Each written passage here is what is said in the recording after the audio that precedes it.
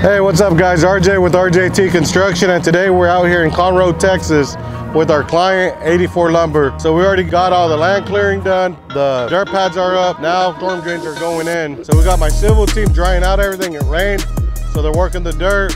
We got the pipe team out here also. They're out here installing the pipe and I got the surveyor out here making sure everything's going in exact locations. And uh, we got dump trucks coming in for the stabilized sand. You know, whenever you put these pipes, you just don't throw them in. You know, you got to get your inspections, your third parties, uh, county, cities involved. So we're prepping everything. Uh, so beginning of the week, city come in, get our approval. We then we cover everything up and go on with the next trade. Stay tuned, RJT Construction. Let's build together.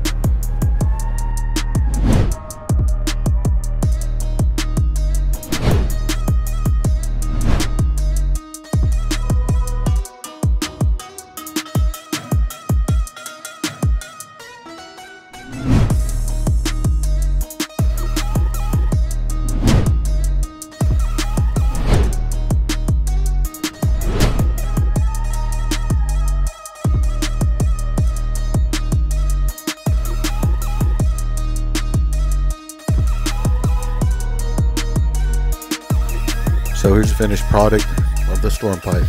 For any of your construction needs, don't hesitate, give us a call. RJT Construction. Let's build together.